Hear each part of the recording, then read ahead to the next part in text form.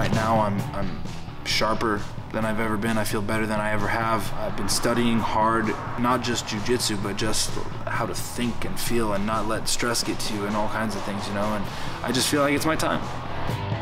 What means the most to me is using my technique, doing my very best, being honest, going out there and flowing, having fun, expressing myself. When I do that, I will win.